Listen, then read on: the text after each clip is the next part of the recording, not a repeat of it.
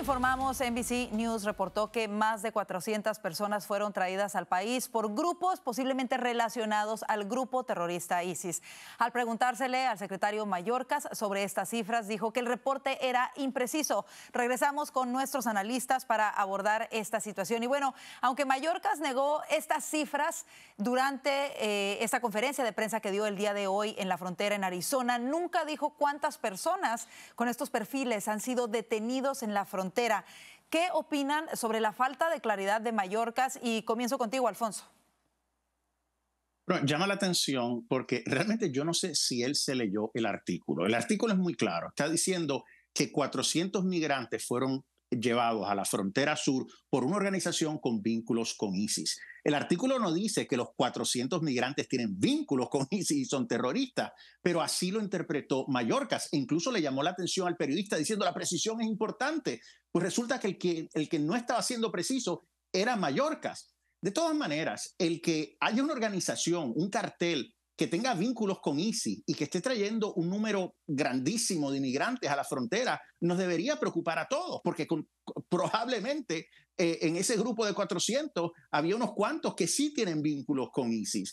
Y lo otro que dijo es que si ellos pueden identificar que algunas de estas personas tienen vínculos con algún grupo terrorista, entonces sí son una prioridad para ser detenidos pero ya están dentro de la nación. Y este es el problema cuando uno recibe tantas personas y las deja entrar. O sea que él para mí estaba dando, como dicen en inglés, non-answers. O sea, respuestas realmente que, que, que, que no son, que, no responden a las preocupaciones de, de, los ciudadanos y a las preguntas de los periodistas. Y que incluso cuando se le trató de cuestionar más para clarificar ese punto, él se volteó y dijo que ya le han preguntado demasiado sobre ello y no quiso contestar, algo que a mí me parece sumamente grave, sobre todo cuando está en la frontera y que se supone que él está diciendo que la seguridad de los estadounidenses es la prioridad. Hay que recordar que recientemente también en un operativo conjunto en el que participó el FBI, se detuvo a ocho inmigrantes porque estaban planeando un ataque terrorista y se les detuvo en Nueva York, si no mal recuerdo, y en Los Ángeles, California y en Filadelfia también. Entonces, creo que es muy importante. Obviamente, esta es la prioridad de los estadounidenses ahora mismo y que él no brinde luz y claridad cuando va a la frontera me parece sumamente grave. Eh, Vanessa, no sé qué piensas al respecto.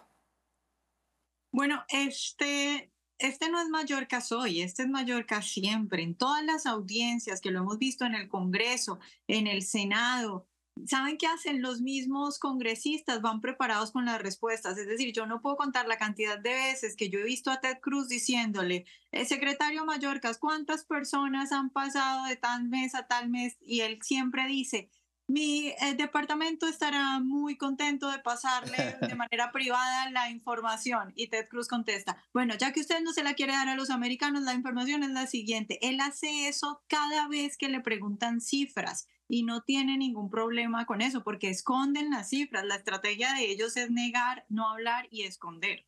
Ahora, lo que tampoco podemos negar, independientemente de que Mallorca lo niegue, es la gran cantidad de delitos violentos cometidos por sujetos que han entrado ilegalmente recientemente por nuestras fronteras. Lamentablemente, y lo hemos comentado, esta niña de 12 años asesinada brutalmente en Houston hace apenas unos días por dos inmigrantes eh, indocumentados.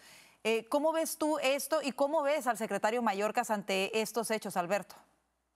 Eh, bueno, nosotros los que seguimos este tipo de información sabemos que está sucediendo, ¿no? Pero para el resto del mundo esto no está sucediendo porque la prensa no lo cubre, eh, o sea, los medios no lo cubre y, y, Mallorca nunca contesta las preguntas, como estaba diciendo Vanessa. Me acuerdo el, la vez que le presentaron lo de las bandas a, a Mallorca y él no sabía ni lo que eran las bandas y para, por qué, para qué se utilizaban, cómo marcaban los niños, cómo marcaban las personas. O sea, él se hizo como que no sabía lo que era. Y esto lo estamos viendo en Nueva York y en muchos estados. Vieron cómo atacaron a policías inmigrantes en Nueva York, este, eh, ilegales, etcétera. Y pues lo que están haciendo es ocultando esta información para, para, para presentar una idea de que no está sucediendo cuando muchos de nosotros sabemos que sí está sucediendo. Bueno, y cuando se habla de que bajo esta administración entre 10 y 12 millones de personas habrían cruzado la frontera de manera ilegal, imagínense cuántos de ellos podrían realmente ser miembros de organizaciones eh, peligrosas, Alfonso.